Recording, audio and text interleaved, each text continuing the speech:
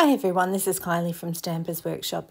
A few weeks ago I made a card using a lattice background and I had some inquiries as to how I made it. It's really simple and I thought I'd show you. Start by taking some stitched rectangle dies and making a frame. I've used the second and the third largest and I use some post-it notes to hold them in place when I'm running them through my die cutting machine. So hopefully they end up being relatively even. Uh, keep the inside though because you can use that for another project. I won't be using it for today's card though. Then I just take another strip, a uh, panel of cardstock and I cut strips about five millimeters in width now, the next step is to add adhesive to this frame. I've done this a couple of different ways. The first time I did it, I just used seal. And this time I thought I'd do something different and I used liquid adhesive. And the first time I did it too, I also sort of kept the frame in position on my grid paper and, and sort of marked out an even gap between each of the strips. This time I sort of, I don't know why, I sort of winged it a little bit, just eyed it just to see how it would go. So it just shows you can do it either way. I also, the first time I was a bit more diligent in making sure the cardstock that I used sort of, I didn't have as much overhang on each side. I'm not quite sure why I did it this way, but anyway, I did.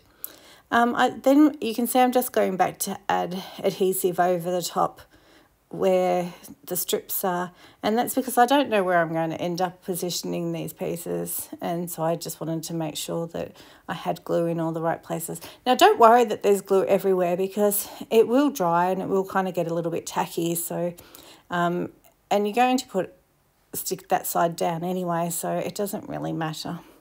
As you can see I just made my framework. It's just, it really is as simple as that. You can make the spaces as big or as little as you like. You can make them a little bit more even than I did it. Just up to you. All you need to do now, so you can see the framework already, pop that aside and let it dry. Don't, don't begin to cut it apart or anything now. Just give it a really good chance to dry. And while that dries, we move on with the rest of the elements of the card. I start by stamping out the main floral image from the Blessings of Home stamp set. That stamp set has turned out to be one of my favourites. Do you guys like it? I just think it's so pretty. Of course, I like colouring and it's it's got a lot that you can colour. Um, but of course, you don't have to. We've seen plenty of examples where it's just been stamped in the one colour. But I like you can cut it out. You can pop up just elements of it. You can just, you can do lots of things with this image basically. Anyway, I'm using my favourite colour, the Granny Apple Green for the leaves, both the light, then I come in with a little bit of the dark for the shadows and, and uh, then I go over it again with the light just to sort of blend it together. Um, some people, because it's such a small image, some people might start with just the dark colour. So just add the dark bit and then sort of blend it out with the light. It, whatever works for you. Um, I kind of change it up a little bit. For some some of these bigger images, I'll just do the, the light, then dark, then light. But if it's a smaller image, I might just start with the dark and, and just do the light. But I just love how... Uh, I know I've sped it up double speed and I probably could cut some of this out, but I really do like seeing how it starts to build and you just start to get that dimension. Colouring is my happy place.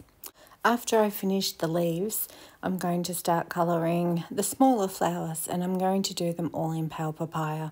I'll start with a coat of the light pale papaya and then I'll add the dark in the areas that are sort of indicated by those lines there that they're darker and then I just go through again and add the light pale papaya over the top.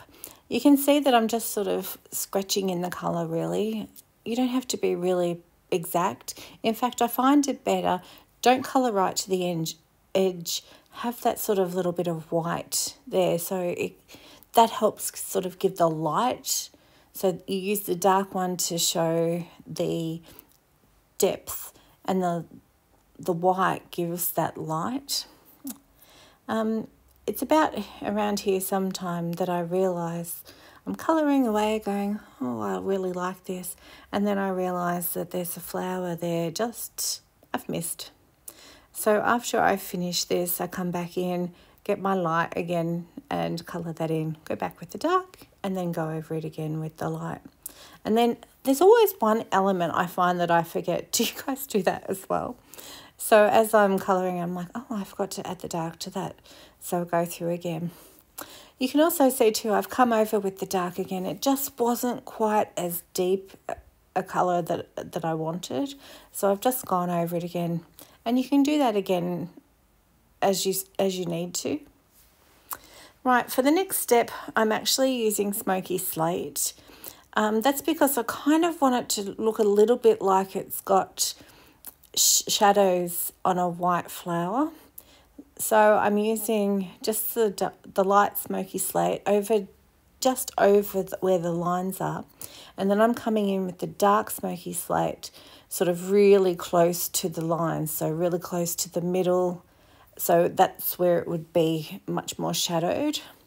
And then just because that's quite a dark grey and it's a little bit darker than I had wanted because as I said I was looking for it to look like a bit more of a, a white flower I then come in with the colour lifter to sort of really soften it. You still have that depth but it's just not quite as dark. Right, the next thing I'm coming in with is the Daffodil Delight for the centres of all of the flowers. Sometimes I might do different centres for the different flowers, but this time I've decided to use just Daffodil Delight. So I'm doing a coat of all the light, and then I'm once again, I'm coming in with that dark colour just to add that extra depth. And once I've done that, I come back in and I go over the top with the light. And then it's time to do the die cutting. I'm using the coordinating flowers of home die cut and I'm cutting out the image. I do use a post-it note most times when cutting out something like this because I would hate to do all that colouring and have the die slip, especially if your plates are getting a little bit warped. Okay, now I'm sort of cutting out a whole bunch of elements um, because I'm not quite sure what I'm going to need. So I just sort of pick out a whole selection run them through on the offcuts of my panel and then I'm going to do the same dies but this time on vellum because I thought a combination of those might be nice and I'm really not sure what I'll need and what will look good. Okay, because this is a sympathy card, I just wanted a really sweet sentiment and so sorry for your loss seems to be a really nice one. It comes from the prized peony stamp set um, I'm stamping in Versamark and then adding white embossing powder. Don't you love watching how it melts? Looks so good. The picture this dies are awesome circles with stitching on it. And I don't think I've used them in the one category in as the one die yet. I just keep using them to cut out sent sentiments. Okay, we're back to our lattice now. It's all stuck now. So it's time to cut off all those uh, overhanging pieces. You won't need them for anything. I mean, I guess you could keep them if you like to keep all your scraps, but otherwise just pop them into the recycling. Just make sure you can see I have just a little bit of an offcut hanging over there, so make sure you cut off all of the bits. At this stage, I decided that I do want to have a really soft background behind my lattice panel. And the easiest way I thought of to do was to do it was to pop the lattice piece in place, get some post-it note tape and create a frame, lift out my border. It did leave a little bit of adhesive because you know I've got all that adhesive that's a bit tacky on the back. So just make sure you wipe that off, otherwise it will be there permanently. Then using a blending brush, I've chosen some pale papaya ink, just blot it off over the side and just add as much colour as you would like Start off really softly because you can always add more colour, but obviously you can't take it away. And then you can see I've got this really nice framework and those post-it note pieces, I can use that again and again for different things. Now you could obviously just adhere this panel straight onto your cardstock, but I decided to pop it up. So I went through and just added lots and lots of dimensionals and I also cut strips just to sort of make it easier to stick it down. I've saved you from having to watch this. I've just cut it all off, but basically I popped a lot of dimensionals on and then I had to take off all of those backings and then they were everywhere. I think they're still floating around, a few of them anyway. And then just position it into place. And that's as simple as it is and it looks so effective.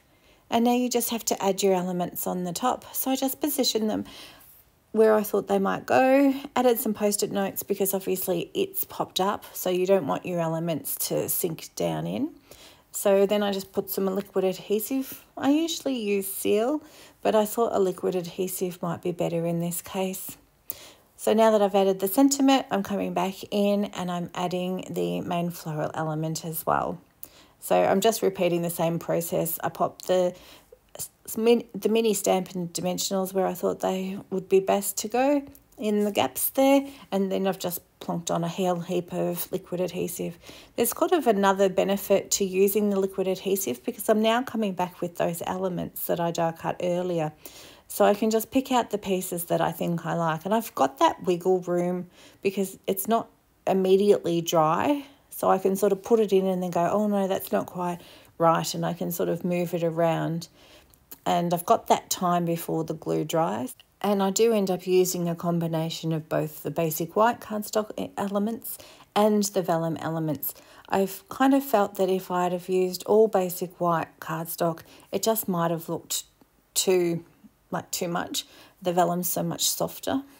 And once I'm happy with the positioning of all of those elements, I'm coming in with a wink of Stella, of course. I tend to use Wink of Stella on all of my floral elements. In fact, usually most cards have it, let's be honest. And I like the fact that it just gives that soft shimmer. It's not a real glittery effect. It just sort of it just sort of catches the eye without being too obvious. And I tend to only put it onto my petals and flowers rather than the leaves. The final touch of my card is to add some pearls. I really like these pearls. They're so pretty and they look so great on this card. And this card is now finished. I hope you enjoyed learning about this lattice technique. All of the supplies used to make this card can be found linked in the description box below or you can find them on my blog at stampersworkshop.com. Thanks for watching. Bye.